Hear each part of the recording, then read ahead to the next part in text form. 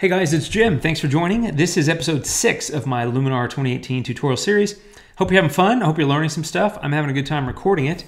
And in this episode, we're going to talk about the tools menu. There's a number of different tools, and uh, they are the crop tool and the transform tool, clone and stamp, and the eraser tool. So I'm going to go through each of those on a couple of different photos, show you how they work. So let's get started. Okay, so I have this image here, and I'm going to start with the crop tool.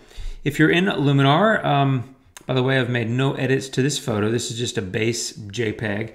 Um, you just click the top toolbar under Tools and you choose Crop. Now, I'm on a Mac, and all four of these are standard on the Mac. They're to be standard on Windows, I believe. I'm not positive, but I think right now, as of the time of this recording, that Crop and Erase are available on the PC platform, but Free Transform and Clone and Stamp are coming later, I think. I need to double check that, but I'm pretty sure. Anyway, we're going to cover all four of them. Let's get started with crop. Okay, so you choose it. It drops into the crop window. You can see you have an overlay here. And um, I'm going to start on the left-hand side. This is where the aspect ratios are. You can choose free, which is what it defaults to. And as the name implies, free just means you can move, uh, you know, you're free. You don't have any constraints, right? So you can just move around any way you want um, and do whatever you want. If you're ever tired of something, you just hit reset and it goes back. Um, if you choose a built-in aspect ratio, it'll adjust it automatically. And then please note, you can move your photo within the crop window. So that's very important because you might want to crop something out and you don't want to be stuck, right?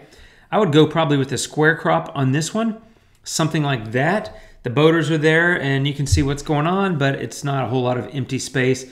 But again, if you decide you don't like it, guess what? Just hit reset and uh, you're back. Okay, this is a slider for angle, so that's for adjusting the horizon, right? Uh, again, reset will take you back. You can also do that over here, right? And probably on that side too, yeah. I always go to the right-hand side, but anyway, uh, as soon as you move your mouse outside of the frame, you'll see those two little arrows, and just click and drag, and you can adjust the, uh, you know, straighten, if you will. Uh, I'm gonna hit reset and go back to that. Okay, there's two crop overlays. There's this one and that one. This one is the rule of thirds overlay, so kind of a uh, what I would call a tic-tac-toe board, right? So it divides it into thirds, um, you know, well, ninths, I guess, technically. Uh, but the point is that it's a great way to help you crop because, you know, according to photography theory, the rule of thirds helps you line subjects up to get a better, more stronger visual composition and more pleasing to the human eye. So generally speaking, um, it's good to put things along these lines. Like you can see, I have the the lakeshore, it's a little bit crooked-ish, not totally, uh, but the uh, the lakeshore along that line, and they usually say, whoever they are, um, that at these points of intersection is where you should pl place things that are of uh, high importance in the in the frame. So if you're taking a portrait, somebody's eye would be there, for example. Um, I didn't do that here. I don't always follow the rules, um, but like you could crop it and uh, get it so that that family on their canoe is uh, at that point of intersection, right? Now, it sort of shortchanges your photo in terms of how this one was shot, but that's what those points are for. Some people call them power points. Anyway, um, that's the rule of thirds, and this one is the golden ratio or the golden rule. You can look that up as well. And uh, anyway, they're just crop overlays that help you sort of visually place uh, things within your composition when you're cropping. I don't mess with those a lot, but they're good to have. Okay, this is image flip, and there you go, or rotate, I guess. Uh, you can just flip this thing around. Uh, this one flips it the other way, right? So you could go like that and that and really get crazy. Um, but I'll bring it back. And then this one just rotates it. Each click rotates it one turn counterclockwise, four turns, gets it all the way back. And of course, reset. So when you're done, you hit done. And whatever you've done, which I haven't done anything, it applies it, drops it back in your main editing window, and you're done. That's the crop tool. So easy to use, straightforward, very helpful to have straighten and crop together, and that's how it works. So I'm gonna get another photo and then we're gonna hop into the transform tool. So I'll be right back, one second. Okay, number two, the free transform tool. So it's right here, it's the second one. And um, here's the deal on the transform. It basically allows you to squish your image uh, and compress it. And I rarely use it. The only time I use it uh, on a sky replacement. So let me show you what I would do there. I have this sunflower field. I would add a new layer, so plus, add new image layer. I'll get this sunset sky image. And as you know, maybe you don't, but if you haven't watched my layers uh, video, uh, with the new layer, it's going to lay on top entirely. So I'm going to mask this in, and I'm going to do this really quick uh, with the gradient. I'm just going to drop it in, something like that, and just kind of get the sky sort of lined up with the horizon. It's not perfect. Um, and say done, right? And for those of you that are curious, I am going to do a video about replacing skies and show you different tips and tricks on how to get it really accurate. So that's coming in the future. Uh, but let's say that that's what I want. However, I want more of the clouds in there. So this is where transform comes in. You just click the tools menu and grab free transform and it'll drop you into that menu. And notice that there's a flip and rotate and an angle or you know leveling option there as well. But here's what I'm gonna do. I'm gonna go down here and when you move your little hand, it's, it's a hand when it's on top of the image, but when you move down to this little bottom, when you get that double arrow, you can just grab that. And as you see, um, the clouds are now moving further up into the frame. So something like that to me looks better and more realistic than that. That to me looks like I painted some clouds on top of it, which I did. But um, if I'm really trying to pull off and make it look more realistic, which I would be doing, then something like that looks better because you get the entire sky in the sky. And that looks like the clouds are spread off over the distance, or maybe they're coming this way from afar. But to me, that looks a lot more realistic than something like that, which is what would have happened if I'd have just painted it in. So that's where the transform tool comes in really handy. Um, I only have ever used it on sky replacements for this exact sort of thing. I'm sure people are, are going to leave comments. I hope you do, um, and have 10 or 20 or 1,000 other ideas for it. I'm sure there's a lot, um, and that's cool. I welcome that stuff. But um, this is how I use it and when I use it. Otherwise, I haven't really used it at all. So it's very powerful for sky replacement and squishing those clouds and making it look better in terms of creating the sense of reality in the uh, sky that you're replacing. So that's number two, free transform. And once you're done, you just click done and you're back in your editing window and then you go do whatever you want to do. So that's two. We've covered crop and free transform. Next up, we're going to get into eraser and then um, clone and stamp. So I'll be right back with another image. Okay, number three is going to be the erase tool. Now, if you look at the drop down, it's actually listed fourth, but I'm going to do it third, and then we're going to come back and do clone and stamp, okay? So the erase tool, uh, whoops, I got to choose the erase tool. There you go, choose the erase tool, and you're brought into the eraser window. So you can add, subtract, you got a lasso, I'll show you that. Um, you can clear a selection, and you can choose the size of your brush. So the very simple, straightforward thing is if you see something in your photo, a dust spot, something on your lens. Maybe there's a tiny little bird in the distant sky and it's just a little much, you know, in your way or whatever, just take it out. All you do is if you're on add, you can adjust the size of your brush, right? You just go like that. You can see my brush is bigger. Um, pardon me, I'm gonna leave it on 20. Let's say I wanna get rid of that little spot there. I can just mouse over it and I can say erase. And then it's gonna come through and it's gonna erase and it's gone. It works really well. Some, something to be aware of. Um, in Luminar Neptune, the previous version, whenever I had a clear blue sky with like a dust spot or something, whenever I would do the eraser, and um, it would often leave a little mark, like a little bit of a half circle, almost like a partial halo kind of thing, where I had removed the spot. So consequently, I went to Snapheal, or sometimes just did it in Lightroom. But um, in Luminar 2018, I find that it's working better. Now, this isn't a blue sky. Um, this is kind of a grungy scene. And by the way, it always works really well in scenes like this because you have so much texture to choose from. Um, and that's kind of what it's doing. It's choosing based on pixels that are nearby. Once you highlight it and erase, so let's say I got this little speck of green paint and that, it's going to look at pixels nearby and decide what uh, what to replace it with effectively. And so when you have a, a situation like this with a lot of texture and detail, it works incredibly well. Um, I still think it works really well, better now than it did in the previous version in blue skies, skies and water. But you got to be a little bit more careful, and um, it's just something to think about. So if you're doing skies and water, you might have to try it a couple of times before you get it just right. And sometimes I use the tools together to get it just right. Um, and if not, there's always Snapheal, which I still think is wonderful. So that's the erase. Now, let's say you're sitting here and you're like, oh gosh, oh, oh man, I screwed up and I drew this line and I don't want to erase all that. How do I fix it? Well, you can click subtract and then you can come over here and just kind of erase over it.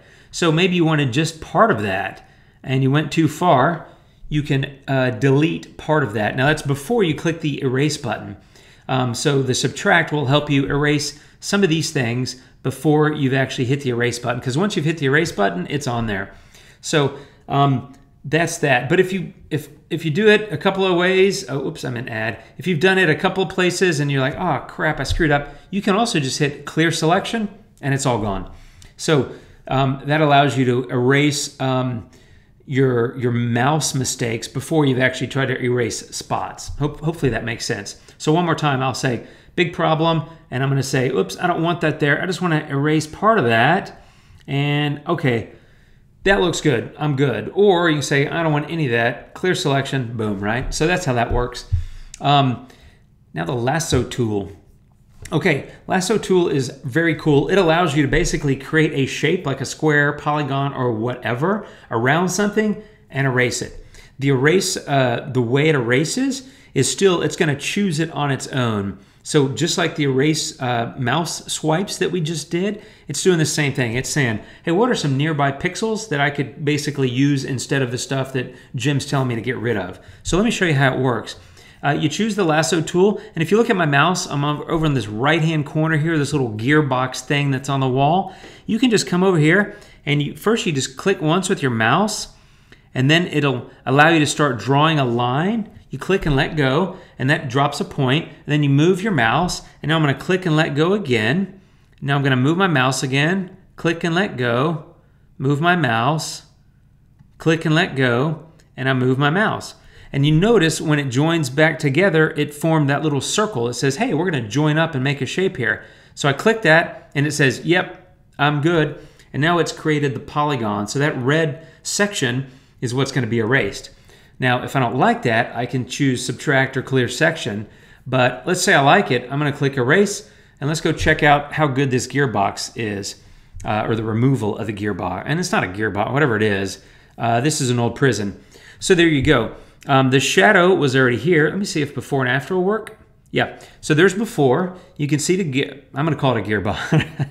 I have no idea what the hell it is. Um, the box, electrical box. Well, there it is. There's the after. So before, after. So if you weren't looking at this, you probably wouldn't know that I removed something. You could see a little bit of shadow there, but you might think, well, that's a little bit of shadow that was already there. Because if you look at it, some of the shadow down below the box was already there. Um, obviously, because the shadow came from the box. Um, so it's a little bit darker there, but you could fix that, remove it, or leave it. I think it would actually be fine in a scene like this one where there's a whole lot going on. That's how lasso works. And then um, you know, then you could come in and do some more, you know, removal if you wanted. You could say, well, I want to get rid of that little paint bit there, and so I'm going to erase it, and let's just see if we can get rid of that gem and check it out, and boom, it's gone, right? So it works really well, especially well on busy, detailed backgrounds. Uh, once you're done, just click done, and again, you're returned to your main editing window. So that is the erase tool, which allows you to both mouse, uh, you know, erase with the mouse, and also choose uh, and draw a shape around something with the lasso tool. Very powerful, very cool, but we got more to do. We're gonna stay on this image and we're gonna go to clone and stamp, which is option number four in the tools menu. So the first thing you'll see is it says click to set the source. Okay, so now I'm gonna right bracket key, increase my mouse. Let me see how big my mouse is. Oops, that's too big. I'm gonna go something like that, okay? Now you got to click to set the source. So what that means is you're to tell Luminar, all right, wherever my mouse is going, um, I want you to paint over it with the stuff that I've selected. The little uh, thing, I don't know what you call it, it's like a little crosshatch, a little circle with a little sort of a plus sign in it here that you're seeing. This is my mouse on this right-hand corner. Um, that is, um, you, that's how you choose the source. So let's say I'm going to click here I'm going to click one, if I can get my mouse to work. There we go. I'm going to click right there. Now I'm going to come up, you notice it stayed still. Now I'm going to come over here, and as you can see, as I go up the wall, it's going to start eating into that um, and making that stuff disappear. And it's basing it on what the little circle next to my mouse is over. And so it moves along with you as your mouse moves. So watch as I get into this section and I start getting into that wall, it's now saying, oh, okay, I've got white wall here. I need to go take care of that.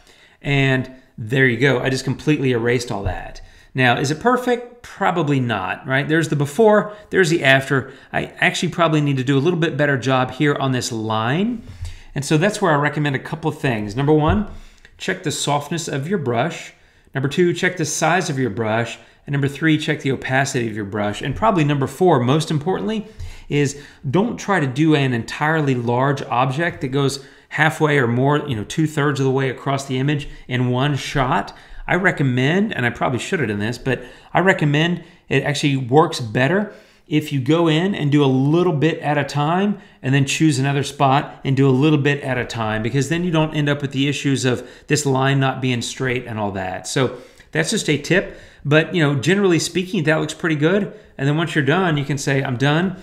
And then your image is back over here. And I've done nothing to this image other than the erasing that I showed you. So it's crooked. It needs to be all kind of jacked up with a bunch of filters. And I'd probably use a sun flare. In fact, I did that. Um, on uh, I put it on Flickr the other day or something. Anyway, it's kind of fun. But um, there's a lot that I would probably go do to this photo. Uh, but that's it as far as demoing the tools. And so what we've covered um, on the first image with the canoers, we covered the crop tool. On the second image with the uh, no uh, with the field of sunflowers, we added a new sky, and I showed you how to use the transform to adjust the uh, size of the sky or the the alignment or you know the crunchiness what's the word? The squishiness of the sky squish the sky to make it fit better in the sky. On this image we did number three erase and took some spots out uh, and also did the lasso tool. And then uh, lastly we did clone and stamp to take out big stuff and that's the four tools my friends i hope that it helps and if you have any questions let me know leave a comment like the video share it with your friends if you would and don't forget to subscribe i got plenty more coming um, a whole lot of stuff actually that I'm trying to uh, get sketched out and uh, and done. So keep coming back. There's more stuff coming every couple of days or so. And that's it, my friends. I appreciate you watching. Thanks for your time. I know you're busy, so thanks for watching. And I'll see you next time. And adios.